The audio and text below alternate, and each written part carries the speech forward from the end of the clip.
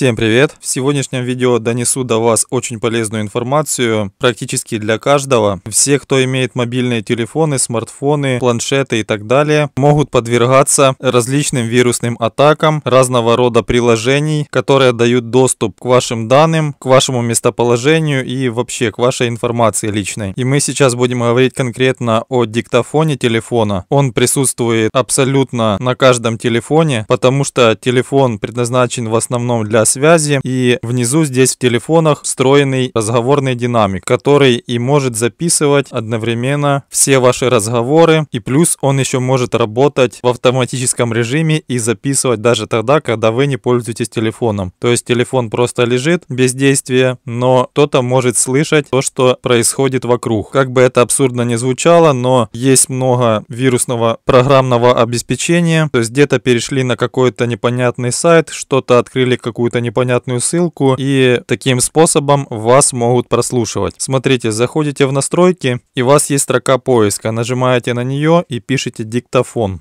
Я уверен, что во всех телефонах эту настройку вам обязательно найдет. Если не находит, то поищите просто по настройкам. Это я просто показываю самый быстрый способ. И если вчитаться, то это приложение, оно системное, то есть оно вшито изначально во все телефоны по стандарту. Это не скачанное приложение, а то, что идет сразу из любым телефоном. Нажимаем на него, Попадаем в настройки диктофона. Здесь, конечно же, у нас по умолчанию вроде как все отключено. Некоторые функции включены, но они ничего нам не дают. Что нам нужно сделать? Здесь есть такой пункт «Очистить данные». Нажимаем на него, и здесь указано, что кэш, данные приложения и персональные настройки будут удалены. Нажимаем ОК, то есть мы таким способом очищаем данные этого приложения. И сейчас я вам покажу то, что вам нужно сделать обязательно, чтобы быть и чувствовать себя в безопасности. Заходим снова в настройки. Дальше ищем пункт приложения, нажимаем на него. Дальше все приложения.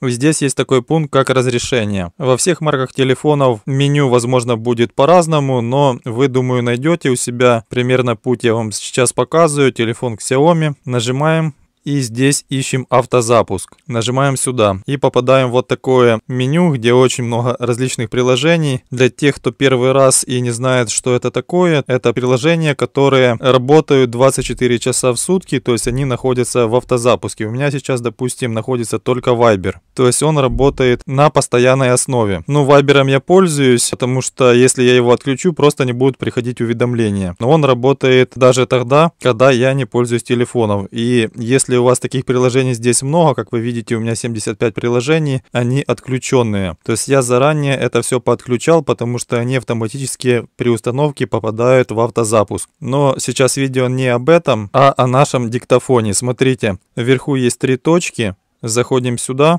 и нажимаем «Показывать системные приложения».